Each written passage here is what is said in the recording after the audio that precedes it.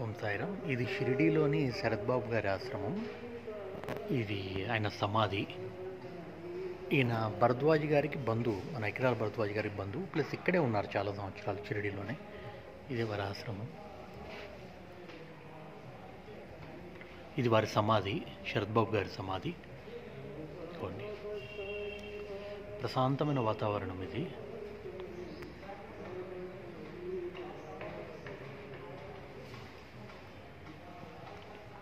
Entrance थी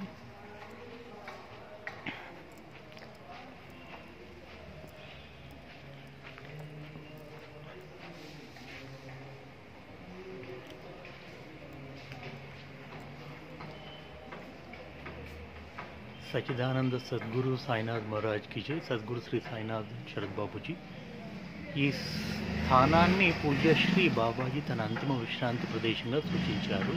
అప్పట్లో ఈ స్థలంలోనే సాయి శ్రీ సాయిబాబా చిత్రపటాన్ని ఉంచి సాయిపదం నిర్మాణానికి పునాదిరాయి వేశారు. ఇందులో శ్రీ బాబాజీ అభిష్టానుసారం అమ్మగారు రోజుకు రెండుసార్లు దీపారాధన చేయడం ఇక్కడే ఆరంభించారు. చిరాలంటే రెండు వేల ఏడు విజయదశమి పర్వదినాన సత్సంగ హాల్లో జ్యోతి ప్రజ్వలన చేసేంతవరకు నిరంతరంగా దీపారాధన జరిగింది. ఇక్కడ అమ్మగారు ఉంటారు మన శరత్ బాబు గారి భార్య ఉంటారు. ఇదే ఆశ్రమం ప్రాంగణం అండి. ఇదిగోండి. బయట చూస్తే ఇలా ఉంటుంది. ఎదురుగా ఉన్న బిల్డింగ్స్ కూడా దీనివే. క్వార్టర్స్ చూడొచ్చు ఇక్కడ.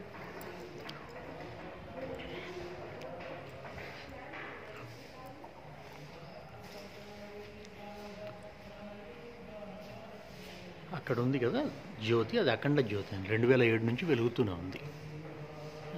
చూడొచ్చు. శరత్ బాబు గారితో. ఆశ్రమ ప్రాంగణం ఇది.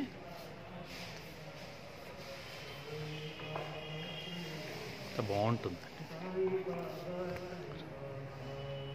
ఇవన్నీ మన ఆంధ్రప్రదేశ్లో కూడా చాలామంది గురువుగా కొలుస్తారు శరత్ బాబు గారు.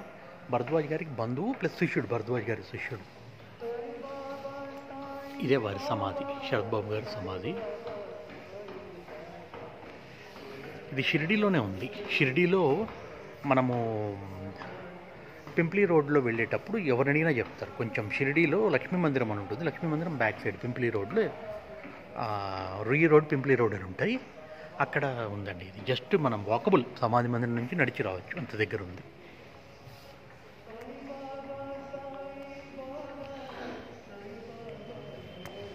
ఆయన ఉపయోగించిన వస్తువులు ఆయన పూజ చేసిన బాబావారికి విగ్రహాలు ఆయన కూర్చున్న కుర్చీ అన్నీ అక్కడ ఉంటాయండి. కరోనా వల్ల అలో చేయట్లేదు.